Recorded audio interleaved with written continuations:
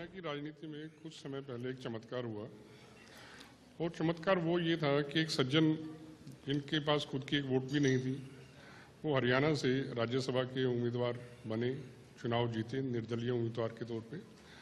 और इत्तेफाक से वो आपके सुपुत्र हैं कार्तिक जी। तो ये चमत्कार कैसे हुआ? देखिए कादयान जी, ये चमत्कार तो नहीं है। कार्तिक शर्मा ने भले ही एक निर्दलीय उम्मीदवार के तौर पर चुनाव लड़ा था, परंतु दूसरी पार्टियों ने, जिनमें भाजपा, जेजेपी, दोनों का समर्थन हासिल था, और दोनों पार्टियों की सिग्निफिकेंट प्रेजेंस है असेंबली में। दूसरी तरफ़ कांग्रेस का उम्मीदवार था कांग्रेस के इकतीस एमएलए थे। और हम सब जानते हैं कि राज्यसभा में जो मेंबर चुन के जाता है, उसका कार्य अपनी state he is representing the state in Rajya Sabha. उसका कार्य ये होता है कि अपने प्रदेश के मुद्दों को लेकर वो राज्यसभा में उठाए। लेकिन जो दूसरा उम्मीदवार था, मैं समझता हूँ, वो ना तो हरियाणा का था, ना ही हरियाणा के मुद्दों को समझ सकता था। इस वजह से शायद उसको कामयाबी नहीं मिली। लेकिन ये एक अहम बात है कि इस चुनाव में जितनी भी राजनीतिक, पॉलिटिकल पार्टियाँ थी उन सब का वोट कार्तिक को मिला।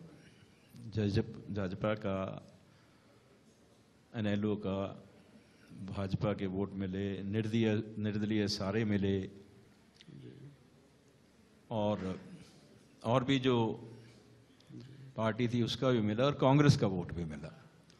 तो कहीं ना कहीं मुझे लगता है कि इस बात का लोगों के मन में भावना थी कि शायद वो जो दूसरा उम्मीदवार है, वो जस्टिफाई नहीं कर पाएगा अपनी पोजीशन को।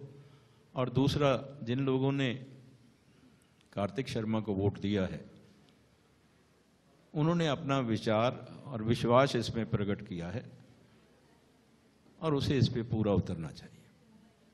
सर, जब ये नामांकन पत्र दाखिल किया गया राज्यसभा चुनाव का तब आप कितने आश्वस्त थे कि ये जीत होगी? क्योंकि पूरा समर्थन संख्या बल के हिसाब से आपके पास नहीं था उस समय। सर जब कार्तिक जी ने ना जब कार्तिक जी ने नामांकन पत्र दाखिल किया तो तब आप कितने जीत के लिए आश्वस्त थे कि ये जीत होगी? क्योंकि संख्या बल और जो समीकरण है वो तो धीरे धीरे राजनीति में बनते बिगड़ते रहते कार्तिक जी का ही जब उन्होंने नामांकन पत्र दाखिल किया तब आप जीत के लिए कितने आश्वस्त थे?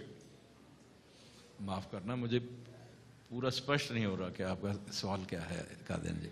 सर मेरा सवाल ये है कि जब नामांकन पत्र चुनाव के लिए दाखिल किया गया तो आप जीत के लिए कितने आश्वस्त थे?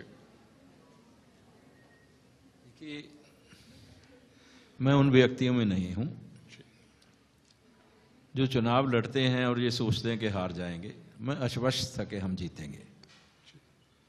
और इसी धारणा के साथ कार्तिक ने अपने नामांकन पत्र भरे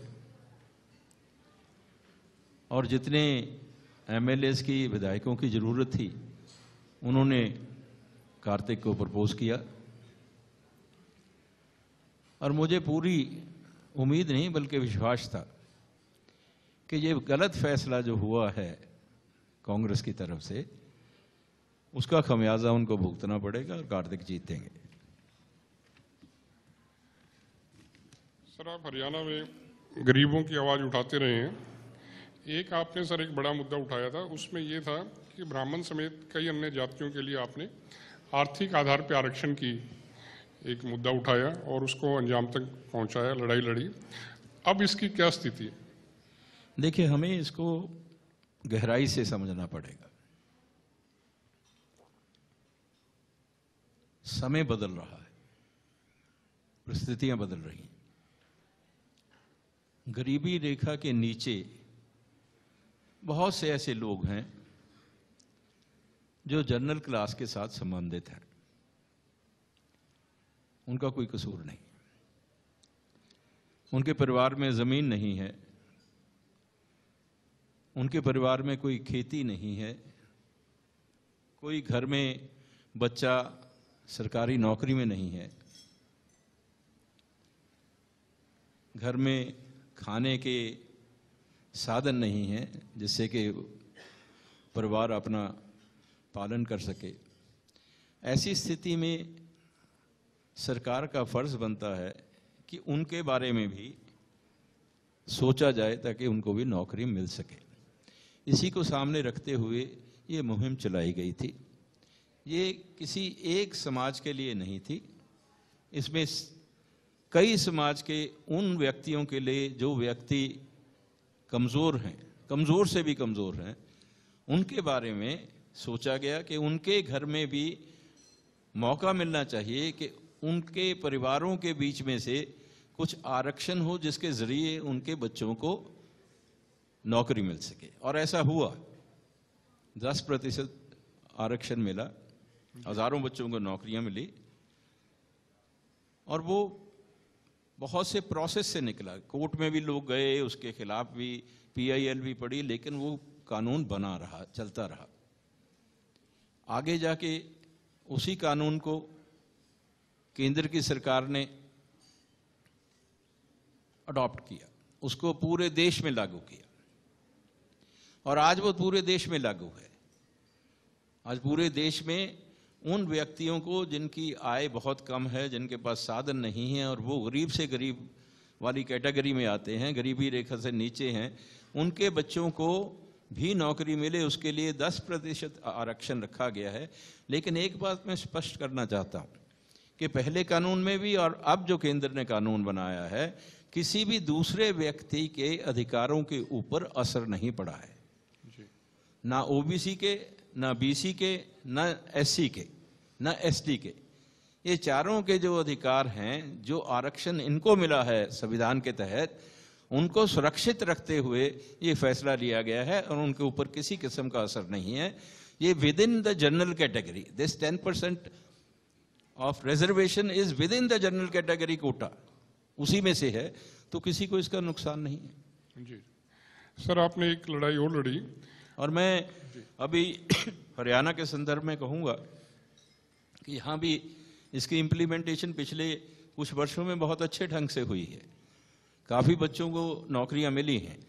लेकिन जब ये स्टेट का कानून, जब केंद्र के कानून में परिवर्तित हुआ, उस वक्त कुछ बच्चे जिनको सिलेक्शन हो चुकी है, those who have been found to be, those who have been उनको ज्वाइनिंग नहीं मिल रही है।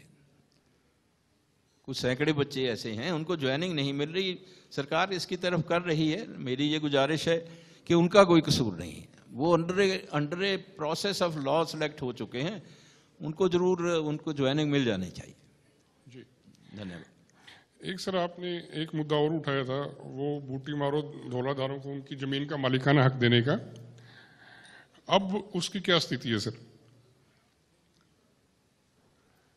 किस चीज़ का ये धौलीदारों और बूटी मारों को जो ज़मीन का मालिकाना हक दिला धौलीधार और जी।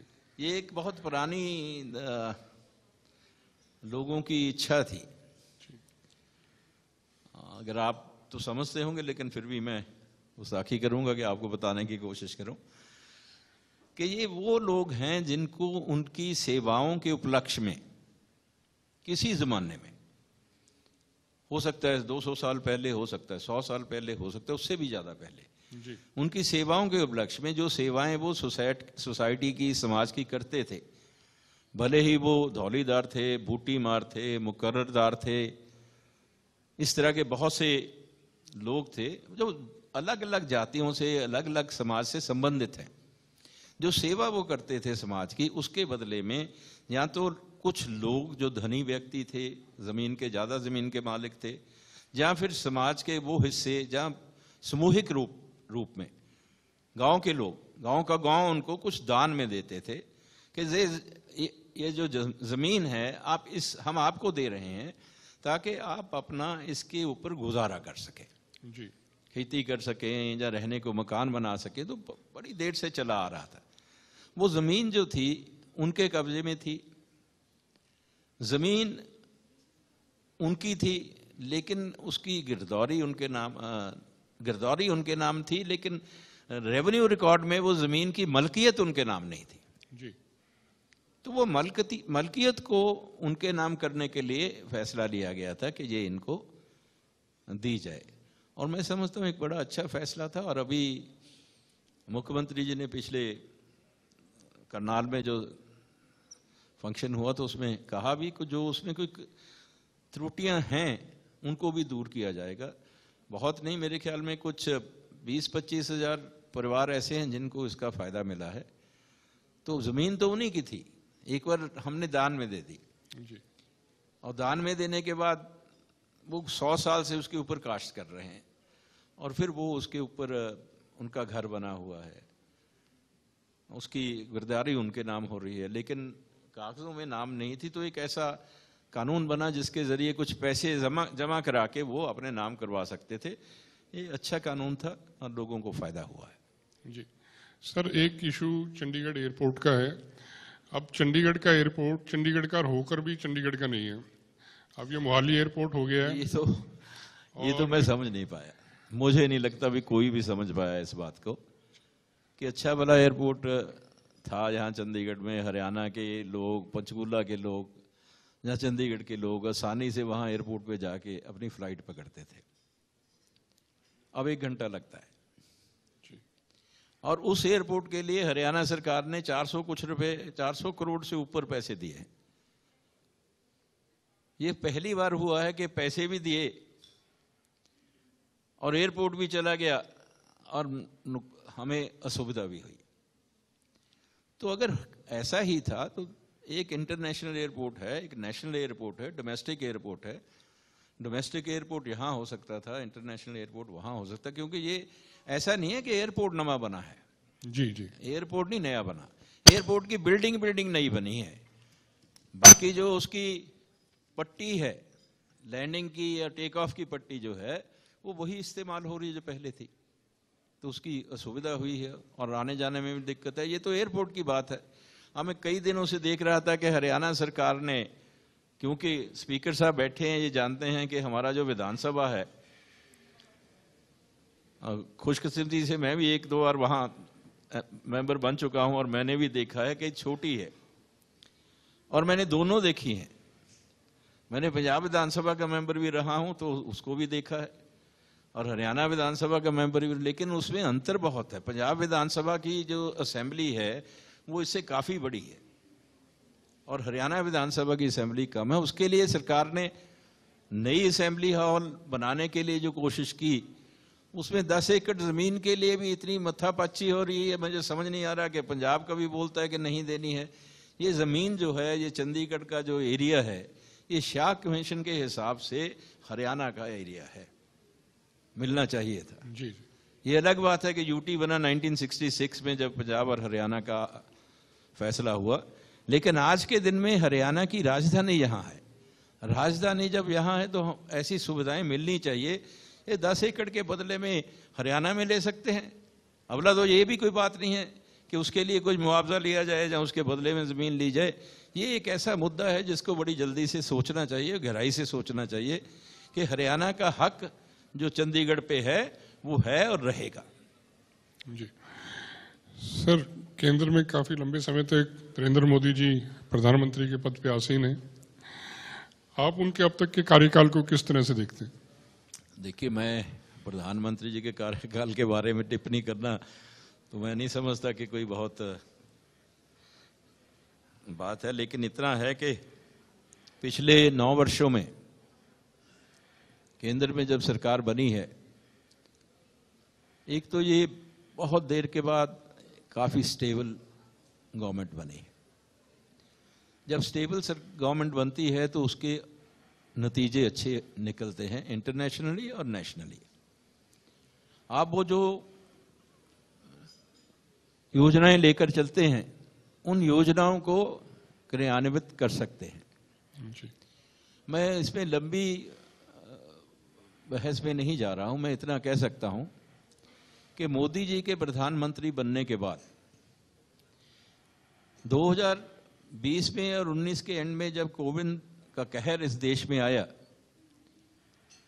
तो बड़े ही अच्छे ढंग से उन्होंने उसको हैंडल किया। ना उस बीमारी से ही, ना सिर्फ़ उस बीमारी से लड़ने की क्षमता नहीं पैदा की बल्कि देश में उन लोगों को, उन गरीब परिवारों को, जो परिवार उन दिनों में इस बीमारी की वजह से निष्क्रिय हो गए, उनके परिवारों को मतवातर लगातार करोड़ों परिवारों को अनाज देकर उनके खाने पीने का इंतज़ाम किया, जो आज तक चल रहा है। ये दुनिया में एक पहला मौका है, पहली बार है कि इतने बड़े सतर पर फ़ूड खुराक अन्न की जो अनुदान है या अन्न का जो लोगों में वितरण है जी। क्योंकि वो जरूरतमंद हैं वो इतने बड़े स्केल पर दुनिया में कहीं नहीं हुआ। दूसरा जब कभी बाहर जाते हैं या वैसे भी आज देश की जो स्थिति है इंटरनेशनली जो हमारी फॉरेन पॉलिसी है वो भले ही विज यूक्रेन रशियन वॉर हो, या विज इंडो पैसिफिक रीजन की हो, या फिर वेस्टर्न कंट्रीज़ के साथ हो, या चाइना के साथ हो, या फिर जो हमेशा से चलती आ रही पाकिस्तान के साथ हो, उसमें काफ़ी सुधार है। हमें इंडियन कहलाने पर गर्व महसूस होता है।